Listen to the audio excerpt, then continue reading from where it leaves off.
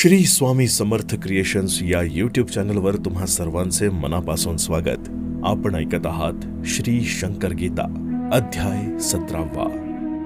देखून कैलासाचा राणा आनंद झाला पंचप्राणा. वंदून त्यांच्या दिव्य चरणा उत्साहित जाहलो. वय महाराजांचे किती होते? प्रत्येकास कळावे वाटते. हे निश्चित सांगता न येते. कोणी दीडशे म्हणतात साधू सांगतात वर्षे तीनशे. तपस्वी सांगतात सातशे.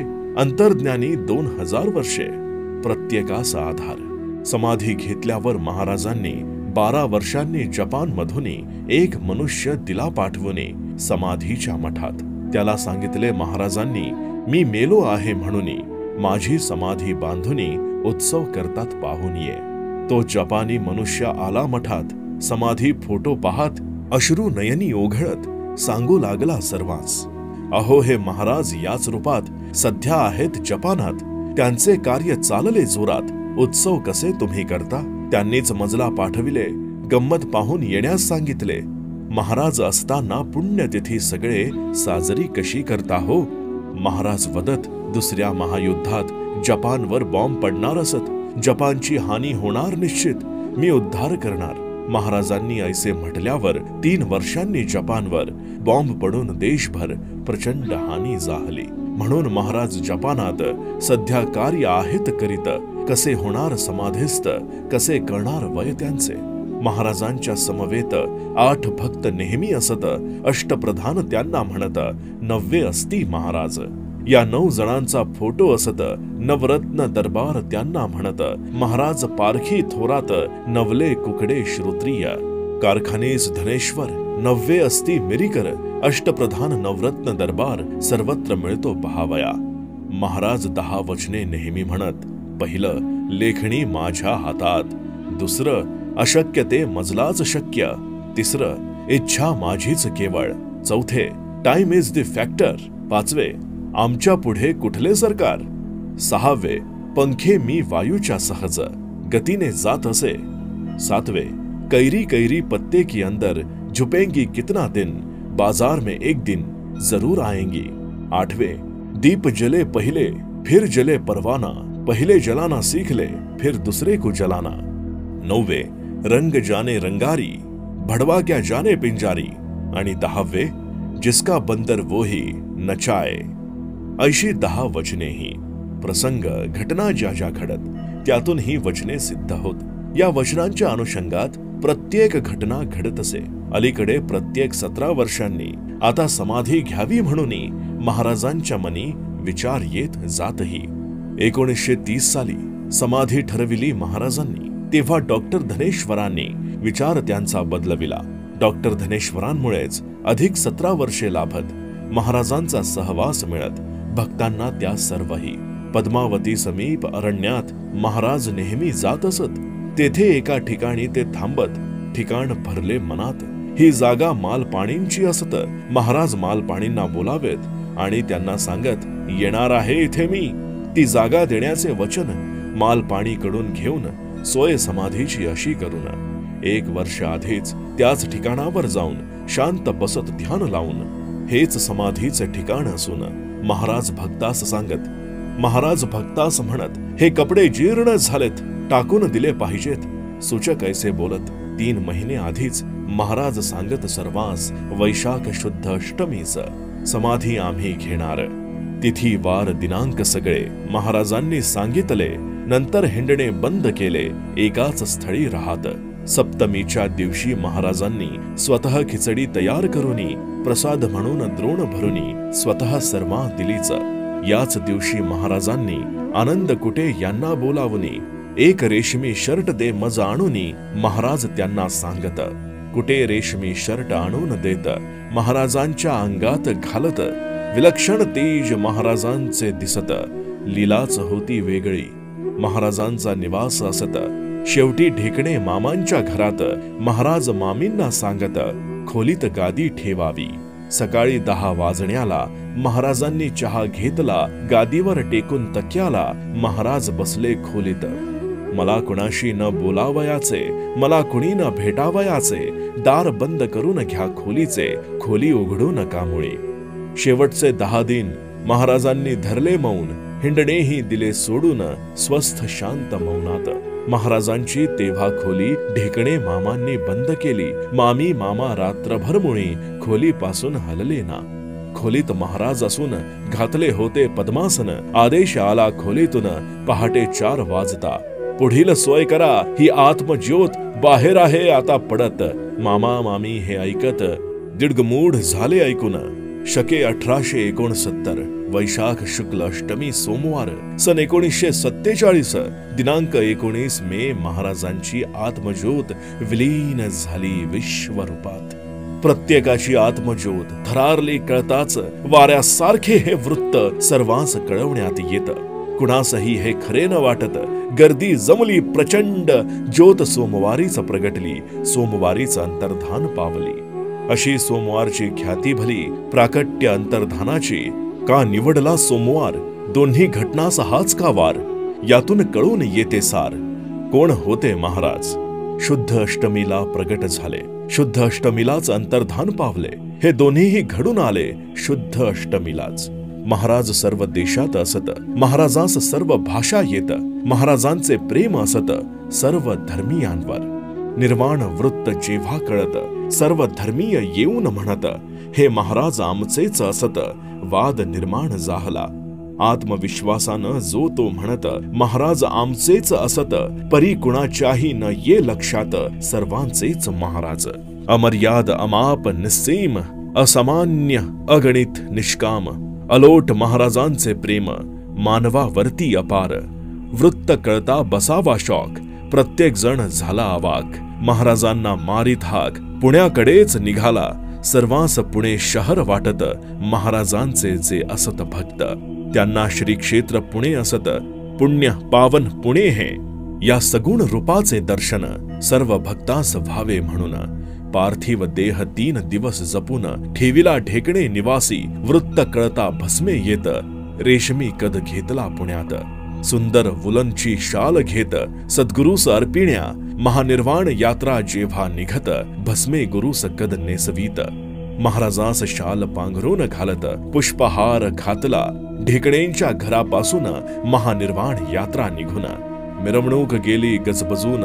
गर्जनेत भक्तांच्या टाळ मृदुंगाचा ध्वनी. जय जयकार भक्तांच्या मुखातुनी. गरजत राही अभंगवाणी. ढीग पुष्पहारांचे.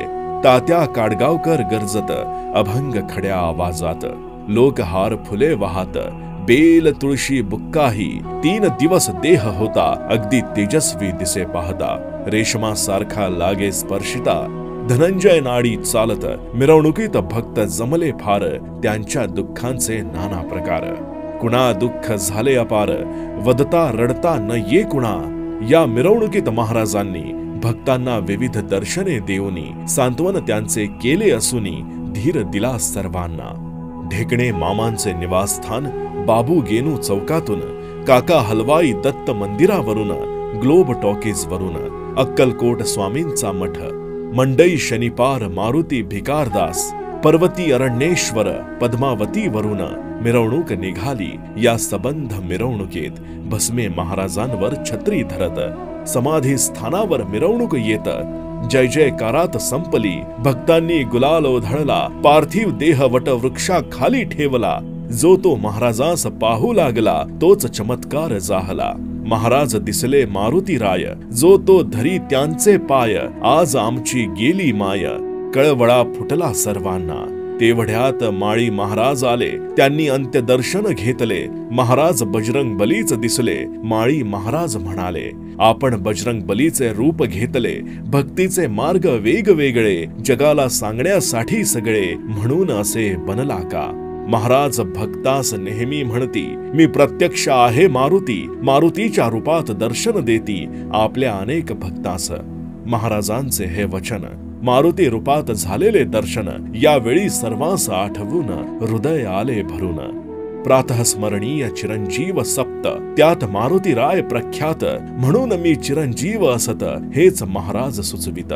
महाराजांनी जी जागा सुचविली तिथे जमीन नुसती उकरली सात बाय साडेतीन फूट निघाली भव्य शिळा त्या स्थळी. शिळा बाजूला काढली आत त्याच मापाची बांधलेली समाधी तयारच होती सगळी योजना कशी पहाही? आळंदी ज्ञानेश्वर महाराज सोपानदेव जंगली महाराज पद्मावती माळी महाराज ओंकारेश्वर येथील. या सहा ठिकाणच्या भाविकांनी पवित्र वस्तू आणूनी मोठ्या भक्ती भावनेने समाधीत ठेवल्या.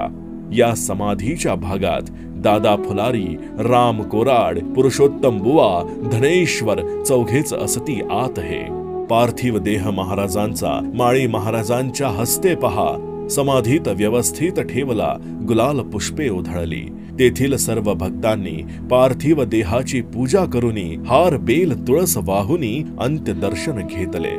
नंतर मीठ अघाडा तुळस ठेवणी अगदी शास्त्रोक्त पद्धतीने विद्युक्त समाधी बंद करूनी जय जयकार निनादला. महासमाधीची पूजा केली. आरती कर्पुरारती झाली. पाच वाजता संध्याकाळी सोहळा पूर्ण झाला. पंधरा दिवस पहा सतत. परगावचे लोक येत असत. तेराव्या दिवशी उत्सव होत नंतर प्रसादोत्सव. नेहमी देश विदेशातून सतत संचार करणारे असून महाराज झाले अंतर्धान निसर्गही गेला थिजून. पहिल्या पुण्यतिथीस भस्मे जाऊन पुण्यास अखंड वीणा नाम सप्ताहास करून प्रथा आरंभिली. बारा वर्षांनी भस्मे यांनी सुंदर पालखी बनवुनी रामभाऊ अकोलकरांना आणूनी पुण्यतिथीच्या दिवशीच रुद्राभिषेक केला महाराजांना. पालखी अर्पिली महाराजांना देहही अर्पिला महाराजांना म्हणाले जय शंकर! महाराजांनी भक्तांना सांगितल्या भविष्य कालातील घटना. वचने दिली अनेकांना आश्वासनेही दिलीच. जरी महाराज झाले समाधेस्त घटना सिद्ध करून दाखवित दिलेली वचने पूर्ण करीत आश्वासने पाळीत महाराज प्रत्यक्ष प्रगटतात भक्तास वचनाची जाणीव देत वचन मी पूर्ण केले असत जाणीव देऊन जातात आजही हे असे घडत असे उद्याही घडणार असत काल तर घडले प्रत्यक्षात त्रिकाळ त्यांच्याच हातात अजून महाराज प्रत्यक्ष प्रगटतात भक्तास प्रत्यक्ष सांगतात स्वप्नात तर अनेकांना भेटतात मार्गदर्शन करतात. मामा ढेकणेंच्या घरात तात्या सहस्त्र बुद्धे येत महाराजांसारखेच तात्या दिसत. समाधी देऊन परतता. काही भक्तांच्या शरीरात महाराज प्रवेश करीत असत तेव्हा ते भक्त प्रत्यक्ष दिसत. हुबेहूब महाराज! काही संदेश सांगणे कार्य काही करून घेणे एकाच वेळी प्रगटणे अनेकांच्या शरीरात. असे महाराज करत नेहमी अष्टमहासिद्धीच्या पलीकडची ही यौगिक क्रिया असूनी अजूनही महाराज करतात. खंड योग महाराज करत असत देहाचे तुकडे तुकडे करत पूर्ववत तुकडे सारे जोडत पुन्हा महाराज उभेच. महाराज विविध कथा सांगत दुरान्वयान ज्ञान देत विविध उपदेशही करीत. एकदा महाराज म्हणाले मातीचा बनविला शंकर परी माती नसे शंकर शंकराने पूजिला शंकर माती मातीच राहते. काशाची घडविली भवानी कासे मात्र नसे भवानी भवानीन पूजिली भवानी कासे राही कासेच. तैसे आम्हा पूजिती सज्जन पूजा स्वीकारती भगवान महाराजांचे हे वचन असे अत्यंत मोलाचे. महाराजांचे जे जे भक्त त्यांना महाराज खडसावून सांगत पृथ्वीचा होईल जेव्हा अंत तेव्हा निष्ठावंत भक्तांना मी माझ्या मांडीवर घेऊन त्यांना तारणार हानी होऊ न देणार जबाबदारी मजकडे जबाबदार भगवंत भक्त असणे निष्ठावंत. विचार करतील का विचारवंत? महाराजांची मेघ ही महाराजांच्या गळ्यात सुवर्णाचे एक लॉकेट असत. खाली एक बदाम शोभत. नाव होते त्यावर शंकर नारायण अंतापूरकर. नावाखाली समर्थ सुंदर. होते हा अलंकार विलोभनीय अत्यंत महाराज जक्कलच्या मळ्यात. येऊन शिळेवर उभे राहत. या शिळेवरती उमटत महाराजांची पावले राम कोराडच्या घरात महाराज फरशीवर उभे राहत. त्या फरशीवर पादुका उमटत महाराज निघून जाताच समाधीच्या मठात जे दत्त मंदिर असत अजूनही रात्रभर त्या मंदिरात महाराज असतात. देहरूप बनले विश्वरूप नमनाचा करुनिया धूप सतराव्या अध्यायास चढे हुरूप समाप्त येथे जाहला. संतवर्य योगीराज सद्गुरु राजाधिराज श्री शंकर महाराज की जय। तर आजचा अध्याय तुम्हाला कसा वाटला कमेंटमध्ये नक्की सांगा. ऐकत रहा श्री शंकर गीता आणि सबस्क्राईब करायला विसरू नका. श्री स्वामी समर्थ क्रिएशन्स या चॅनलला भेटूया पुढच्या अध्यायात. तोपर्यंत आपली काळजी घ्या. श्री शंकर महाराज की जय.